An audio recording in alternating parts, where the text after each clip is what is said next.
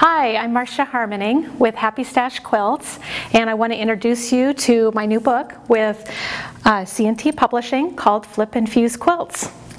This book contains 12 projects, and all of them use a method of applique that does not involve hand and needlework. It's all done by machine, and I call it simply Flip and Fuse. Let's show you how it works. Here's how the flip and fuse process works. First you want to select a lightweight fusible interfacing to use. And there's two options that I really recommend. The first one is the Wash Away Applique Sheets by C&T.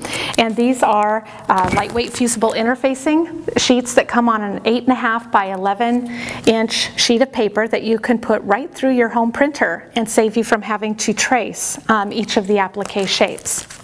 The other option is the Pellon 911FF product, and it comes on a 20 inch wide bolt that is um, that's available at most places. Now there's advantages and disadvantages to both. The advantage to uh, the C&T product is that you don't have to trace all of your pieces, but it does cost a little bit more, but it might be worth it for convenience sake. The other product the Pellon, it's a little less expensive, but it is, um, but you are going to have to trace your individual pieces. So what it boils down to, both product is great, uh, work great, but you will want to just evaluate your own need for time versus money.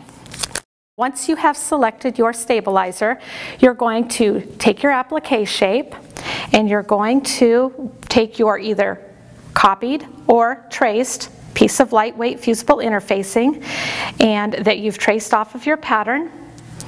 Then you're going to put that piece of interfacing directly on a piece of fabric. And you want the glue side to be facing the right side of the fabric. Once you do that, you're next going to want to sew a line uh, directly on your drawn line to connect the two pieces.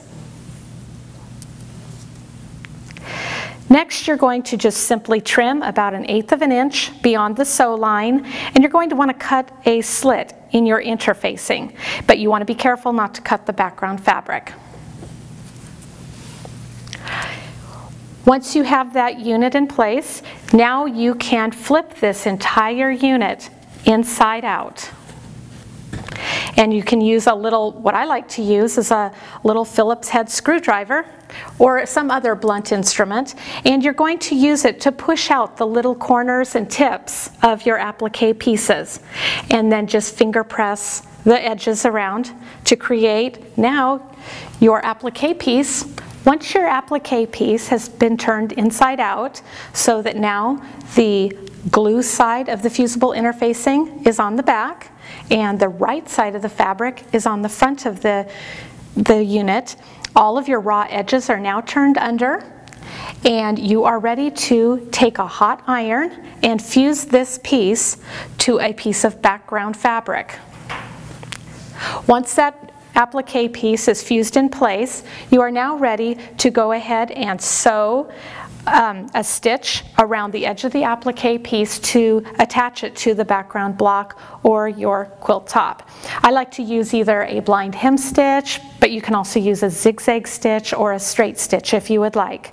I like to use clear monofilament thread um, on the top and for the back side though I go ahead and use a cotton thread in the bobbin.